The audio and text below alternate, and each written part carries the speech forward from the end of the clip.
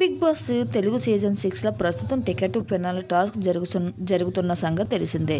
ఇక పెనాలి టాస్క్లో మరొక రెండు వారాల సమయం ఉండడంతో ఈ వీక్ పెనాలి టాస్క్లో బిగ్ బాస్ అభిమానులను అలరించే ప్రయత్నం చేశారు. గత వారం చివరి కెప్టెన్ టీ సా- టాస్క్ అని చెప్పడంతో ఇవి టికెట్ టు ఫినాల్ టాస్క్లో మన ముందుకు వచ్చి కంటెంటెస్ట్ ఈ సీజన్లో ఫైనల్కి అవకాశాన్ని ఇచ్చాడు బిగ్ బాస్.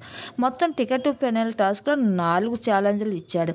బిగ్ బాస్ ఎట్టకేకలకు అందరూ మిడ్ కాల్ అయ్యారు మిస్ కాల్ అయ్యారు. ఇక లాస్ట్లో సిహాన్ రేవంత్ మాత్రమే ఉన్నారు. రేవంత్ చాలా ఎఫర్ట్ పెట్టి టికెట్ టు ఫైనల్ టాస్క్లో తన సొంతం చేసుకోవాలని ఎక్కడ తగ్గకుండా ఏంటో తన సత్తా ఏంటో చూపించుకున్నా చూపిస్తున్నాడు.